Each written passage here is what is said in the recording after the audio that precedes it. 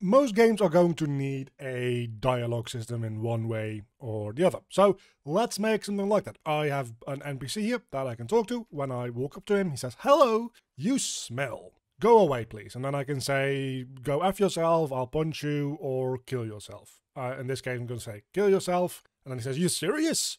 You want to fight? And then I get the option between yes, I want to fight, or no, I'd rather not fight actually. And then he says, That's what I thought go run home to mommy and I can just leave. Uh, and of course, if I said yes, uh, I could program in him starting up like his uh, boss fight behavior or something like that. So we have a very expandable, very modular dialogue system here that entirely works based on behavior trees. Today we're going to get started making this by just making the little text pop up widget and we're gonna go from there. Maybe in the future I will also make a variation of this system that doesn't rely on behavior trees because there's some upsides and some downsides to doing it in behavior trees. But for now, let's get started. So we're here in a entirely clean project. As usual with the series, what I'm going to do is you can download the entire finished project or on a per episode basis, you can download the project files down below in the description for YouTube members and patrons. Let's get into the first bit now.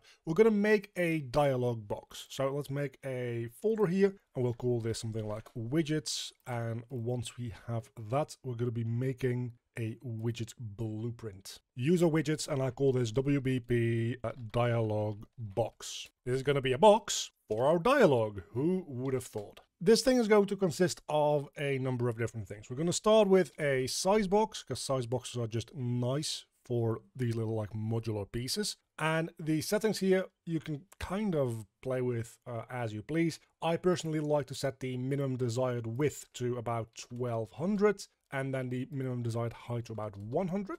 And if we then put this instead of fill screen to desired on screen, we can actually see how big uh, that is. So maybe you want to be a little bit less, you want to make it like 50. Uh, again, I think 100 is pretty good. Uh, and then if we add in more content than 100 units, this thing is going to be uh, growing and growing and growing and growing. So for instance, let's just put some text in here. And if I put in a whole bunch of text like all this. You can see that number one doesn't wrap around. Uh, that is because auto wrap is not set to uh, being true. So if we auto wrap, uh, it grows and shrinks depending on how much it needs. But we want to set a maximum size for this size box as well. So let's go back in here and we can say a maximum height of, for instance, about 400 instead. So that way it cannot go over a height of 400.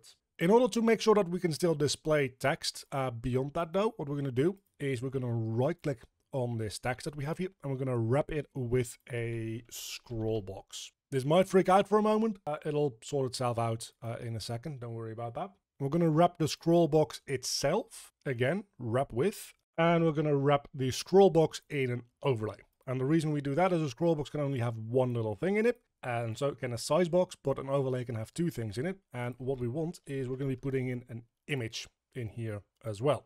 For the image, the horizontal and vertical alignment are just going to be entirely filled. And we want to make sure that the image is above the scroll box in our hierarchy here. This way it renders the image first and then renders the scroll box and text on top. And let's set the color of the image to black so that we can actually see the text and maybe set the alpha uh, to a little lower so that it's transparent. Now this still doesn't look very good and that is uh, mostly due to the fact that this uh, scroll box here is going to need a little bit of padding. So if we give this about 20 units in my case of padding on each side, you see that the text doesn't come up against the edges anymore, which makes it look just a bit.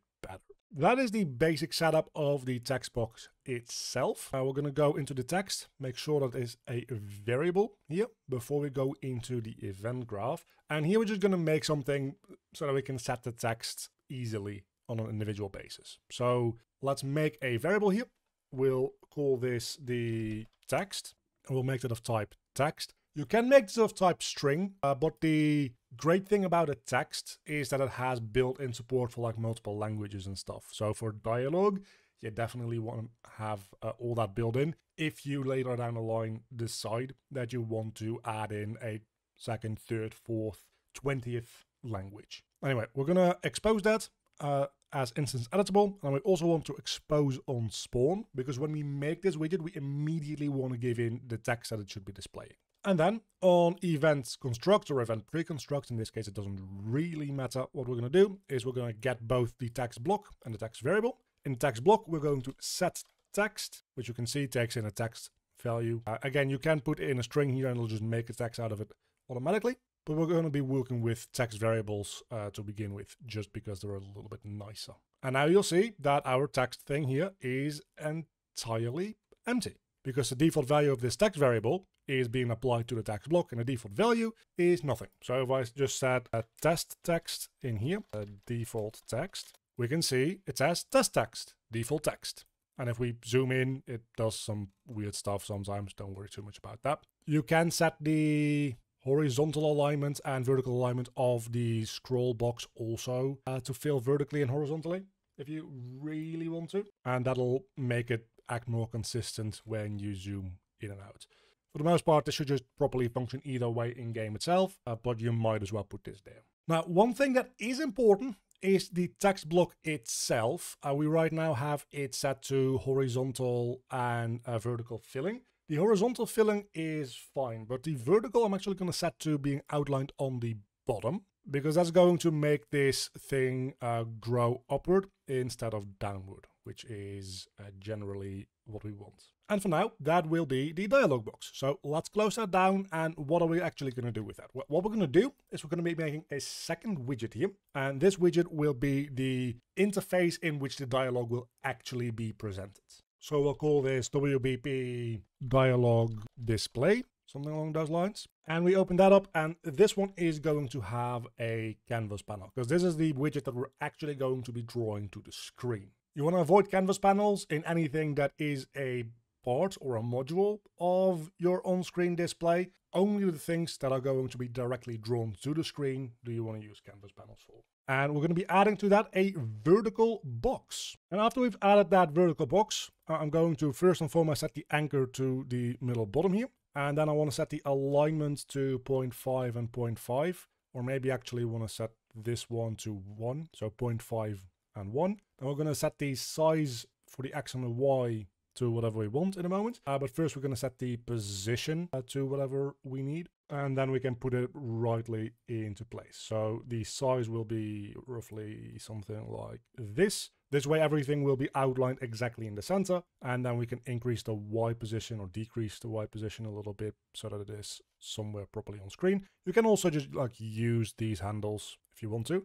Once this is in place, we're gonna take this anchor and we're gonna move this around so that it encapsulates the entire thing. Now it will properly scale with different aspect ratios and different resolutions. So with that, Make sure that our vertical box uh, selected is a variable, and then we can go into the event graph for this thing as well. And here we're going to add a new custom event, and this will be uh, called add widgets to stack, because we're going to be stacking widgets into that box that we just added. So whenever we have uh, something that we want to add, we're going to call this uh, function here, and we're going to be adding a child to that vertical box, and the thing that we'll be adding will be an input parameter. So that way, whenever we call from anywhere, we can create a widget and supply it in here and then it'll get added to this vertical box. If that doesn't fully make sense, don't worry, we'll actually show you how to do that in a moment. Uh, once we added that child though, it gives us a panel slot object reference, which is quite generic. Uh, so what we're going to do is we're going to cast that to the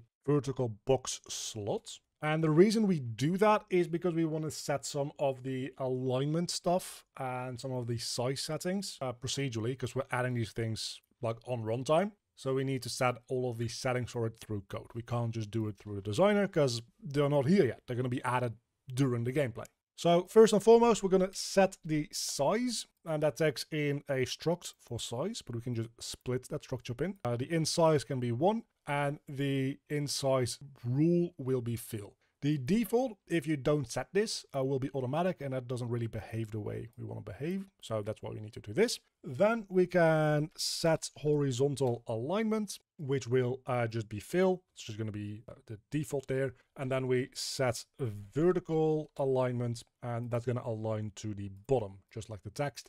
Again, because we want things to when they get added, grow up to the top of the screen instead of going further down to the bottom of the screen. And this way, the bottom will be the anchor point. So anything that we add is going to be added away from the bottom. And then last thing to do right now is add a second custom event. And this will just be clear dialog widgets. And all that is going to do is take our vertical box and we're going to clear the children out of it. So that we have an easy function to just say, get rid of everything in the dialog box. We just want to have a clean interface again. With all that in place, we can open up our third person character real quick. And I'm just going to do this on uh, begin play. So we have begin play, it does some stuff here. And then we will create a widget. And the widget that we're going to be creating will be our dialog display. And that will immediately be added to the viewport. So add to viewport. Uh, but if we run this now, uh, we won't actually see anything. As you can see, there's nothing to see because we're not adding any actual dialogue to this. So what we want to do is we want to create another widget